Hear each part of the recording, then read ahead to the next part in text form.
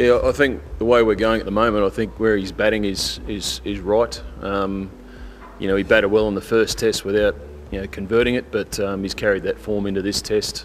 You know, we've worked hard with with Ross in the last couple of weeks. We we changed a few little things technically, um, and he's been working his socks off to get it right. And you know, today he just showed what he can do um, when he, when his balance is right and everything's working for him. But I think at six, you know, with a role that he's got to play with the ball in our team as well, I think uh, you know to bat him any higher puts him under a lot more pressure, a lot more stress. Um, so he, you know, he, does play a big part with, with the ball. So not trying to keep him fresh. Um, you know, batted at six today, batted really well. I, I think that's a good spot for him. No, you know, you're never happy when you're 113 for five. Um, you know, I think we've Kieran Powell started the day beautifully again. Um, you know, he batted well in the second innings in Rajkot. Uh, looked like he was going to carry on from there, but um, you know, Shai Hope as well batted batted really well for his 36. But you know, those two guys are a lot better than what they're producing here at the moment. Um, you know, and they both know they've left a lot of runs out there. So,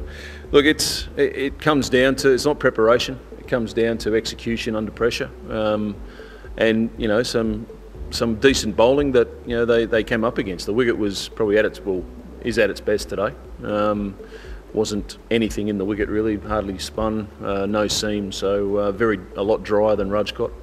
Um, so it was probably at its best for batting today. Um, unfortunately, we just didn't quite grab it by the scruff of the neck. We had you know decent starts. Each batter got off to a, a reasonable start. Um, we just needed one or two of those guys to kick on and get big hundreds. Um, not not the case, but you know, we we sat down and spoke. We didn't want to, you know, shy away from the hard work. We understand it's tough, um, but we didn't want to shy away from it either.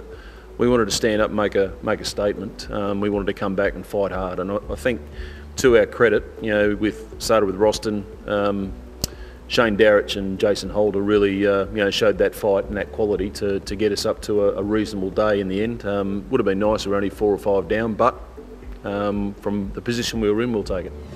Uh, I think he understands spin. Uh, they face a lot of spin back in back in the Caribbean and domestic cricket.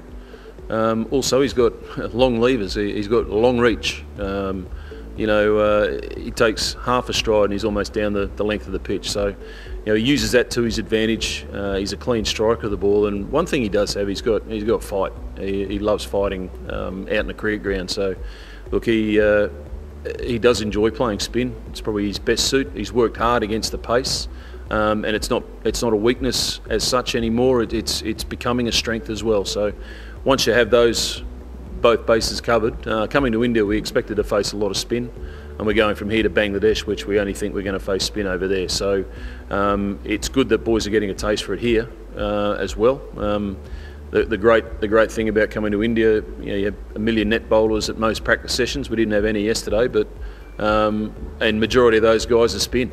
So you know that's that's great great learning curve for us, and we, we try and get the, the dirtiest, dustiest pitches to, to bat against them. So we do learn how to play spin quicker. You know he's he, he's lucky he plays spin naturally well. Um, it's just the fact that you know he's got long long reach. Uh, he can smother spin. He, has got good power as well, and you know plays plays good cricket shots.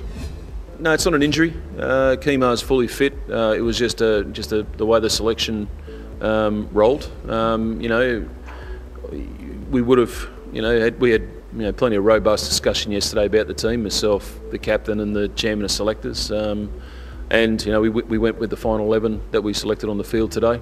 Um, very handy that we uh, we won the toss and we batted. So um, uh, with with the extra spin option there, I think Warrican can offer us a, a little bit of control as well, um, as well as you know be a potent uh, you know uh, bowler when the when the wicket starts turning. It'd be nice. Um, you know, we've still got, you know, Bishoo can can score runs. Uh, he can also keep his wicket intact. Um, you know, ideally, you you look at you know the magic number of 400 in the first innings uh, is is something that we we targeted. Um, you know, 350, 400 would be be ideal for us at the moment, and then obviously new ball. Uh, with Shannon Gabriel with his express pace uh, and Jason Holder back with his bounce and swing.